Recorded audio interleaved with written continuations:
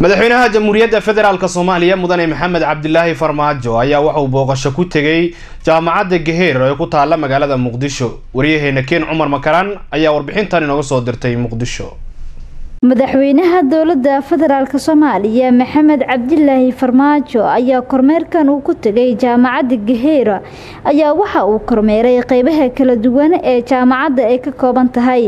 Intuu kormeerka uu bilaabin madaxweynaha ayaa ugu horeyn waxa uu salaan ka qaatay ciidamo ka tirsan booliska soomaaliyeed oo goobta lagu diyaariyey. Kormeer kala duwan uu ku sameeyey qeybaha ay ka kooban tahay jaamacadda gaheer ayaa kadib waxa uu kulan la qaatay guddiga jaamacadda ummadda iyo wasiirka waxbarashada xukuumadda federaalk soomaaliya. Rektarka jaamacadda ummadda maxamed axmed jimcaale ayaa ugu horeyn madaxweynaha uga warbixiyey jaamacaddan gaheer iyo fursadihii laga heli jiray. Mudane madaxweyne xaruntani dad badan waxay yaqaanaan jaamacadda gaheer waxa ay u noqotana waxaa weeye kuliyadaha ugu badan ee jaamacadda ummadda kulmi jirta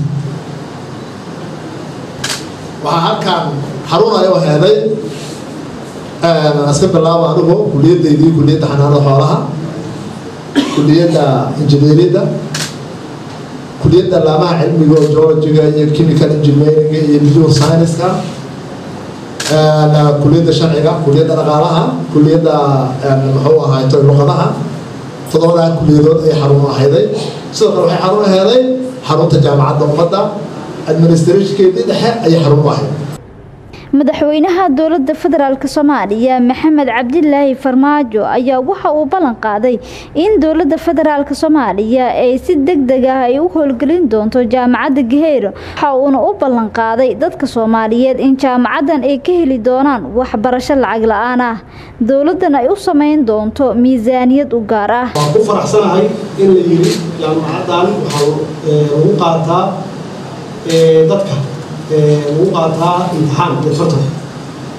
Boqolkiiba sagaashan wax ka badanna inay ka yimaadeen gobollada macnaheedu aysan ahayn four point five iyo yaa lacag haysta aysan ahayn. Annaga dowlad ahaan waxa weeye waxaan ugu ballanayaan sii xoojinno in aan maxaan ku rahda kordhino ilaahay waxaana sii inaan kordhino maxaan idhaahdaa budgetka ama miisaaniyadda jaamacadda. Si sidii annaga aan u baranay oo fursaddaan u helnay aan u siino dhallinyarada aan dhalnay ilmaheenna ah ee fursaddaas kale u helaan. Taariikhda waa laga hadlay waa sheegay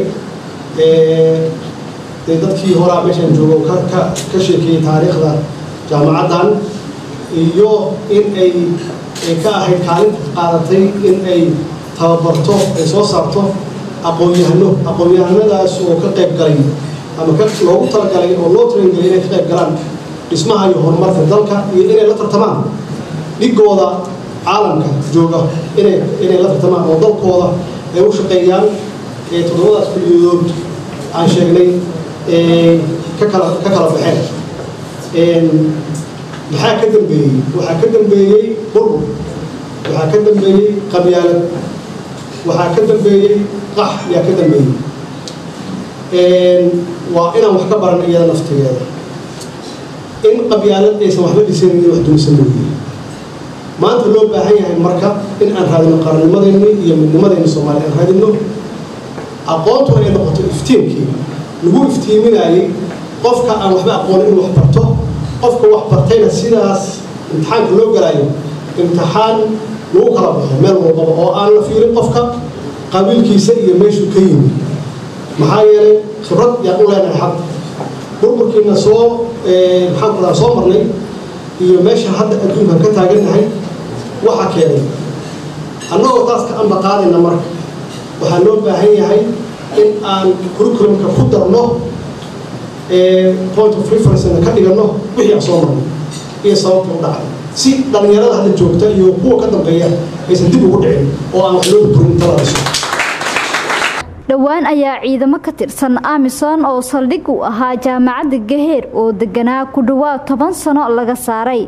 Kiin cumar makaraan somaali cebal magaalada muqdisho